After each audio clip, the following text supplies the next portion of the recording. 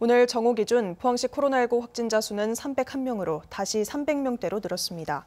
경주에서는 신규 확진자가 185명 발생해 어제와 비슷한 수준을 보였습니다. 포항시는 설 연휴 여파로 확진자 수가 증가세를 보이고 있다며 남북구 보건소와 종합운동장, 양덕 한마음체육관에서 신속 항원 검사를 받을 수 있다고 밝혔습니다.